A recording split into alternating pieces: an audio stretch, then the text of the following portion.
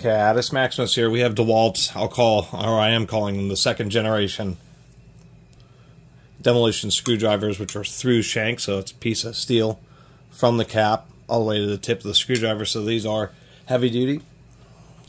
Although these things have become popular in recent years, I don't know. A couple years ago, I did a review of the older school ones with the acetate handles. And as far as the handles are concerned, I still like the acetate ones and the kind of you know, the extra density. These are double injected nylon handles on the new one, so we got nylon core and then like a TPU kind of rubberized overcoating. They have kind of a squarish design, but I, I think if your hands were real slick, maybe covered with, maybe you have dirt, grease, oil, or they're sweaty, you might have uh, just a little bit more of an issue maintaining a grip because these can, can get slick under those situations. Or when you have one that has just a bit more of a squared off function with some nice little recesses, it just feels like these older school ones, even if your hands were slick, that you'd be able to still get a nice grip on them. They did upgrade the shanks. They are now hex, but they were round on the older ones. That way you can use pliers or an adjustable wrench to help give you some more torque. These are not JIS tips. Is, if we look, these newer styles seem even sharper than the older ones. The older ones I like because the tips are just a little bit more squared off, a little bit thicker right at the very end. Seemed those grab Phillips screws a little bit better than these style that get just a little bit sharper. But when it comes to demolition screwdrivers or construction screwdrivers, a lot of times you're working with Phillips head screws that are slightly damaged or in particular, either filled with crud or painted over. And so part of the advantage of one of these, well, you can hit any screwdriver with a handle. But ones with a through core, you can actually put it on the fastener, really hit it in there. And these slightly thinner flutes actually may allow it to sink a little deeper in the screw. And in those situations, you'd be more likely to be able to unscrew it more. The slightly more squared off tip may not, but it would require uh, working with a lot of screws. It's funny on the packaging. Well, one thing I'll give them, it's easy to remove, so you're not risking cutting your fingers open with the bulletproof packaging. 10 times corrosion resistance. Not like the old chrome plated ones. Had a big issue with corrosion. And I'm not sure why they put some kind of chrome plating on the tip mainly because a lot of platings on high strength steels it can cause a chemical composition change at the surface, commonly known as hydrogen embrittlement,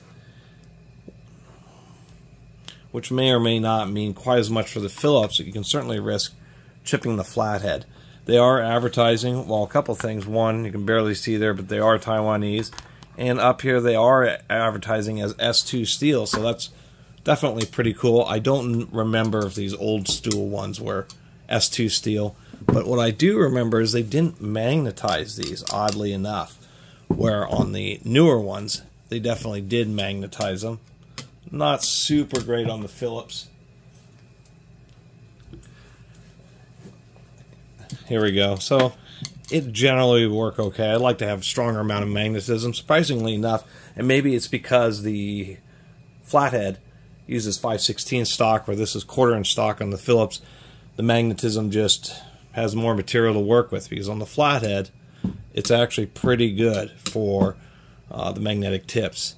And so the old ones, of course, you can always use a screwdriver magnetizer to fix any de or unmagnetized screwdrivers. But at least they're finally including that from the factory. And finally, it may be due to a function of the S2 steel not wanting to roll forge quite as or it may have more likelihood of either kind of microfracturing or just not being friendly.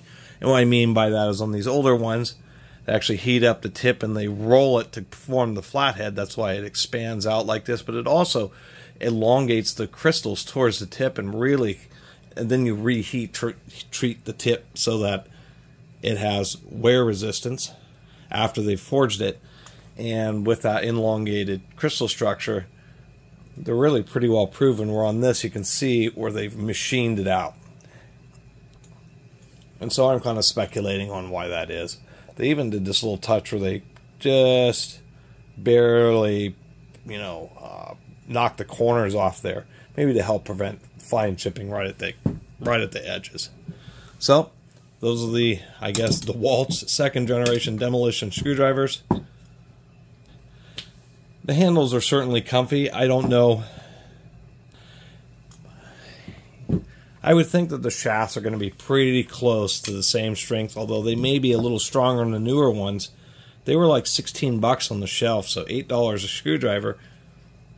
But I think they went backwards a little bit on the handles once again. They're a little nice, but they should have had them just more squared off and uh, giving you just, you know, a bit more grip to work with. And then last but not least, at least in the uh, toolbox, the red and blue is kind of nice because it's real easy to, most times you'll grab them both, but a lot of times you're actually just using uh, the flathead as a pry bar of types. And it's nice to have the colored rings just to be able to grab it. And on these, they put markings on the base of the drivers, but of course, after you start pounding on them, those will disappear. So they just kind of seem, I guess, more value engineered, maybe to make up for using a slightly higher grade of steel, but we really have to do some tests of failure to determine which ones are the best. So in this case, I'd probably go with the Milwaukee demolition drivers just because they have a trilobular handle and certainly are plenty good enough and I think are the same price, but you just get a little bit better grip. I think once again DeWalt kind of went a little backwards on these handles. Anyway, thanks for watching.